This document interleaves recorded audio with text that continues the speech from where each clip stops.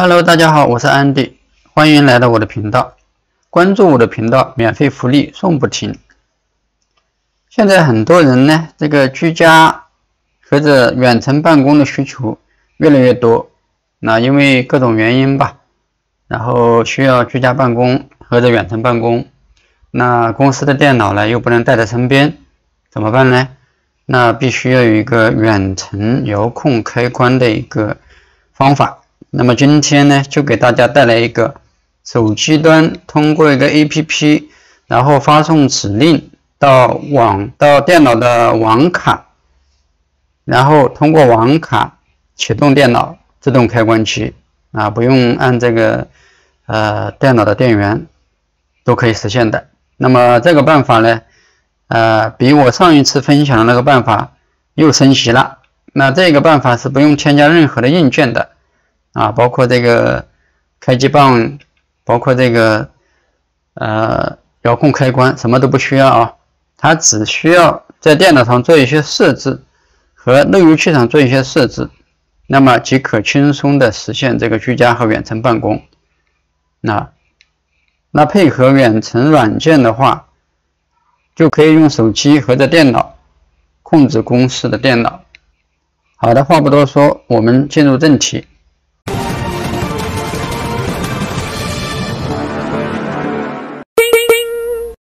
首先，我们来到电脑啊，大家看一下啊。那么做这样一项设置的前提是，大家看到我的右下角啊，看到我屏幕的右下角，前提是一定要用这个网线连接电脑，就是从路由器连接到电脑。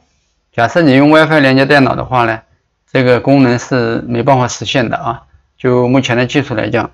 还不能达成，所以说必须要用网线连接电脑才可以的。OK，这个设置的步骤啊有点长啊，总共分了六步，我们一步一步来讲。首先第一步，我们要先设置这个 BIOS。那么我们开机进入 BIOS 啊，每一个主板它的呃设置是不一样的，但是无非呢就是两大类啊。啊，我分别给大家讲一下。第一类就是这个，这个是华硕主板啊，大家看到这个是华硕主板。那么我们把这个 Power On by PCI 杠一啊，也就是 Wake On LAN 这个功能必须要给它打开啊，一定要给它打开。那主板假设不打开这个功能的话，是没有办法实现这个远程开机的功能的。啊，因为这个原理来讲的话呢，就是通过远程链接路由器给网卡发送一个指令，那么它的主板必须要要要通过这个指令，不然的话被主板卡住了，那就没办法啊，没办法实现这个功能。那第二个设置来讲的话啊，就是这个呃，打比方这一个，这个是技嘉主板技嘉主板打开以后呢，在电源管理的下面。啊，最下面大家看到这里有一个 ERP，有一个 ERP，那么这一个很多默认是开启的，那我们必须要给它关闭设定啊，我们必须要给它关闭，不然的话它会干扰我们的指令。OK，这一个呢就是这个呃 BIOS 里面的一个设置。那么第二个我们要在网络链接里面设置。OK，我们放大镜。搜索查看网络链接，打开以后，这边这个以太网啊，我们点击右键属性，这个地方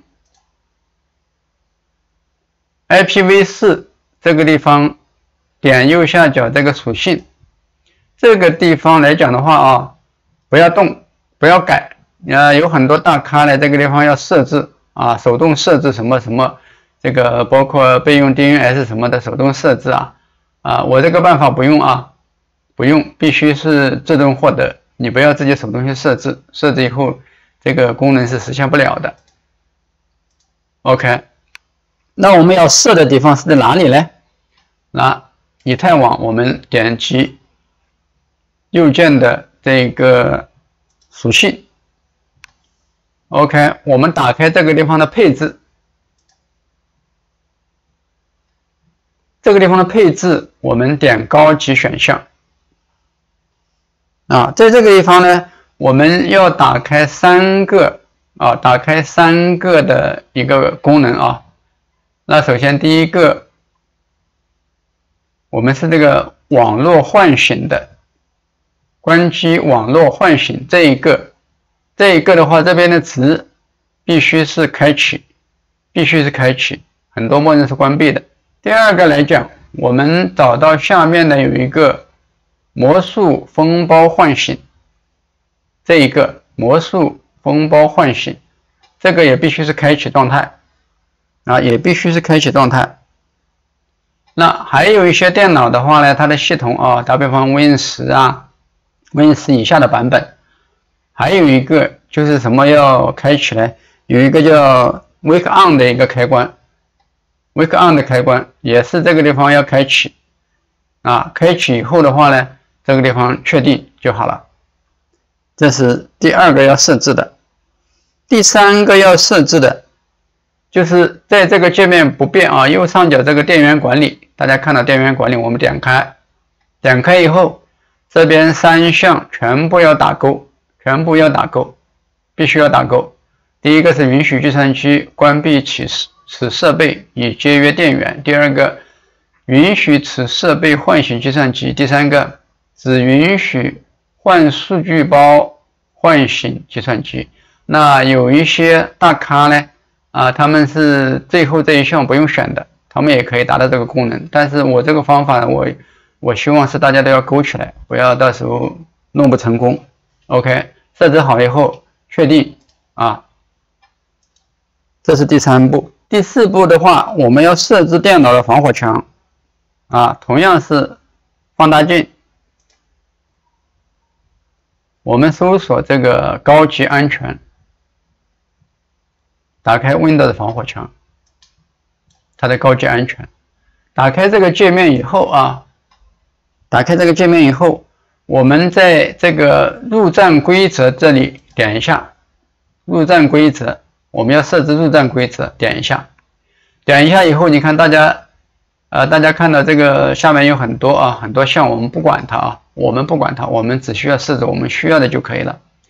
那我们点右边这个地方的操作，下面这个地方新建规则，我们点一下新建规则，OK，到这一步。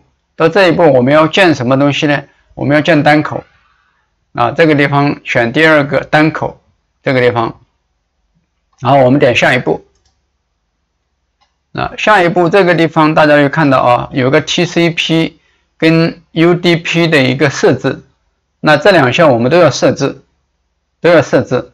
那我们一步一步设置，我们先设置 TCP。那下面这里特定本地单口的，我们选九。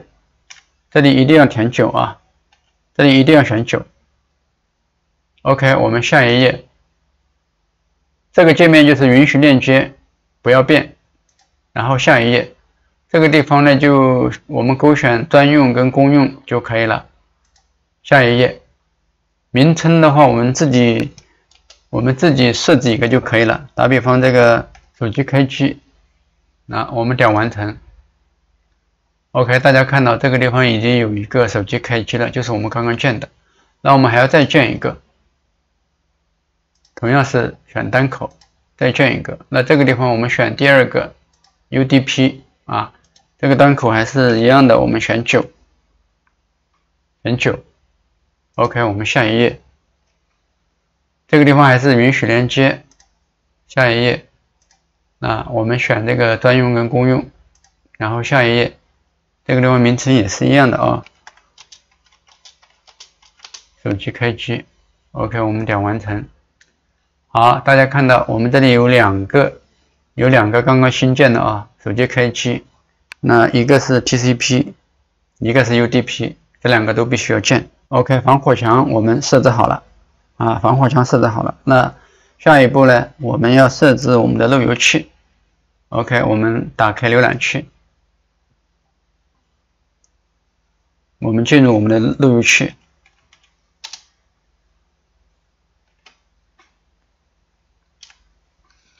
ok 我用的是华为的路由器啊 ws 五二零零是合版的一个路由器那不管什么路由器来讲设置都是大同小异的。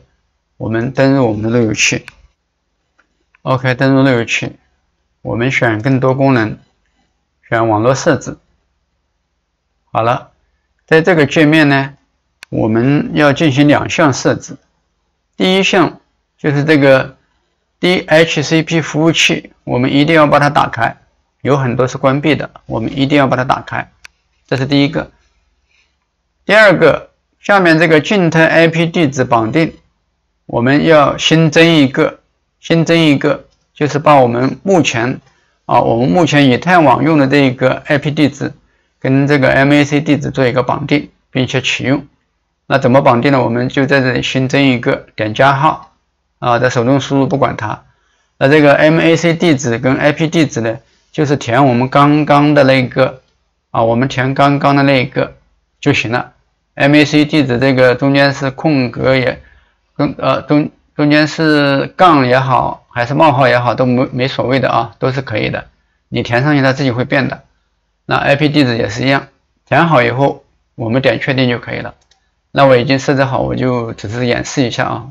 我就只是演示一下，有一些路由器呢跟我这个不一样，那它可能设置的是叫什么啊 ARP 啊或者那个 IP 斜杠 MAC 绑定啊，找到这一项都是一样的。那上面的这个 DHCP 那大都有的啊，大家自己找找你们的路由器里面的设置就可以了。好的，那最后一步来到我们的手机，OK，来到手机端。大家看到我已经下载好了一个 A P P 啊，你们直接到你们手机的各个应用市场下载就可以了啊。它的名字叫 Wake Online，就是这一个 W A K E O N L A N 这一个。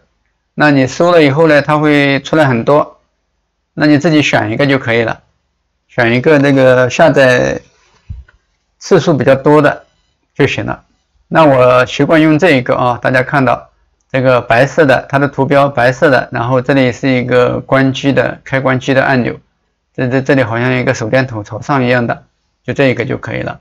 这个是已经可以完成我的我的任务的一个。OK，我们打开它，好了，这个是我之前已经建好的一个啊，这个就是我的 MAC 地址。那我们要新建怎么办呢？我们点右下角的这个加号。OK，到这个界面，这个点右上角手工输入。那到这个界面以后，我们要输三个东西啊，我们要输三个东西。第一个就是这个 MAC 的这一个地址，就是 MAC 地址、物理地址啊，输进去也是一样的，中间这个冒号还是横杠都可以的啊，都可以的。第二个就是你的 IP 地址。啊，就是你现在这个电脑上网的 IP 地址。第三个端口在这个地方九，一定要填九啊，不能填其他的数字，因为我们之前在前面设置的端口就是九，不能不能填其他的数字啊，填其他的你这个地方是没办法唤醒成功的啊。那交代一句啊，全面设置的话，我们为什么选九呢？这个因为其他的端口有可能被其他的设备占用了啊。你这个地方要设了其他的话，跟那那那跟其他的设备有冲突也不行的。OK，那这个填了以后，下面呢这个可选这个可以不填的啊，没事的，不用填的。填完以后添加设备就行了啊，我这里只是做演示，我已经添加了。OK，那使用怎么使用呢？很简单啊，呃，只是有一个前提条件，就是说你目标电脑。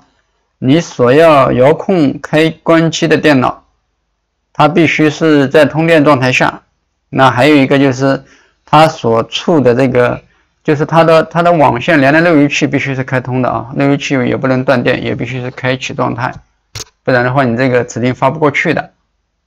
OK，那用的话方法很简单，直接点唤醒就可以了。呃，直接点一下唤醒。那下面这个地方大家看到啊，有一个提示已唤醒。或者说点这里也行，那点一下，这里已唤醒。啊，你要不放心，你可以多点两下，啊，都没关系的。其实它电脑只要一个信号成功了，它就可以开启的。OK，今天这个方法呢是最低成本的，那只是在这个电脑跟路由器设置一下就可以的了。呃，它的步骤虽然多，但是大家严格的按照我的步骤来做的话呢，啊，保证百分之百成功。好的，今天的视频就介绍到这里。假设我的视频对大家有帮助的话，请帮我点赞关注，感谢观看，我们下期视频再见。